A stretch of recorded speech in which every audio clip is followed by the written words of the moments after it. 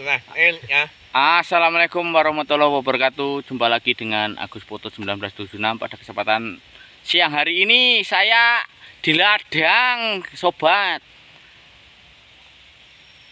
Kerja buruh nandur banggal nggone dhewe.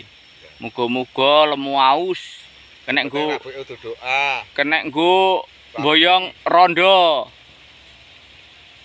Rondo sak bathok lemune. Ya Yan ya. Pokoknya sabar, bojomu ya gur kerjanamu ya gur ngene iki, ora pembisnis. Iki lho. Sawangen ndase nganti melis-melis, ora nganti tukul saking mumete. Bos, mulak nara gelem Eh, gawe. Eh, Amin. kae wong papat, Wong bapak handal kabeh. eh handal kabeh. Kae ketutupan kae. Kae man sampah, kae ketutupan. Nah.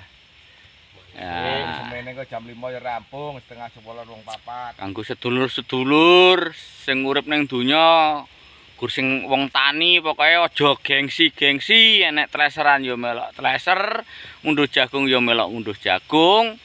Puruh ndaut ya ndaut, popok galeng ya popok galeng. Sing penting aja selingkuh. Selingkuh. Bahaya engko kaya sedulurku lanang kae sing buri kae eh Iku ki Eh. indah. Eh, rumah tangga ya padu lah Eh, Padu. eh neng to selingkuh seringan indah rumah tangga utuh ya bakal iya. eh kae ma- pamanku kae sing buri kae Wes tenan. paman sampah eh selingkuh ora bakal tau nek wong selingkuh ki rumah tangga utuh ya jelas murak marik to kudune Ati Bang Wayu. sansaya parah wayuh ki. Lho eh wayuh karo selingkuh ki malah berat. Selingkuh to. Lah pira-pira digetke lho duit. Njaluk aku. Jelas digolekne lho kita ngutang-ngutang nek wong selingkuh ki. Ya. Nek bojo dhewe wayuh ora enak apa-apa. Lah kahanane kok ngene kok ya golek ngono jelas e. Kadang-kadang ya ngene. Ada Hmm. uang abang disayang, enggak ada uang abang ditendang. Nah, ngono kuwi. Kuwi contoh kaya aku. Elek oh sing penting ora gampang selingkuh. Sing ngono wae dulur-dulur. Iki cek ngisis, panas.